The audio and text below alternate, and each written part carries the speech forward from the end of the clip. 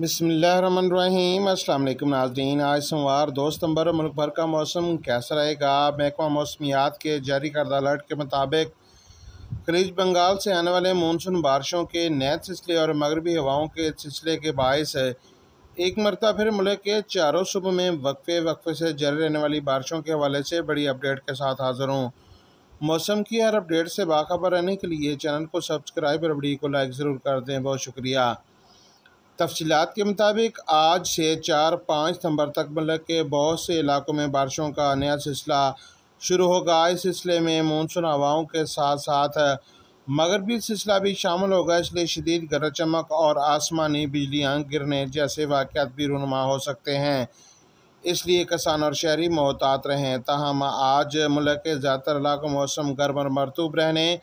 Kashmir G B Khyber Pakhtunkhwa شمال مشرقی بالائی وسطی پنجاب کے مختلف علاقوں اور شمالی بلوچستان سمیت کو سلیمان پر بھی کہیں کہیں گرج چمک کے ساتھ بارش کا امکان ہے۔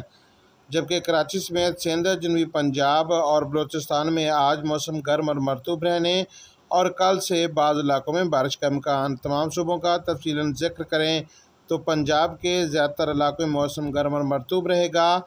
جبکہ مری گلیات راول پنڈی اٹک، چکوال جیلہ، منڈی بہودین گجرات، گجرانوالا حافظ آباد لاہور شیخپورہ سیالکوٹ، ناروال، خوشاب سرگودا میاں والی میں گرج چمک کے ساتھ بارش کا امکان، اس دوران کتاب پٹوہار اور وسطی پنجاب میں بھی کہیں کہیں بارش متوقع۔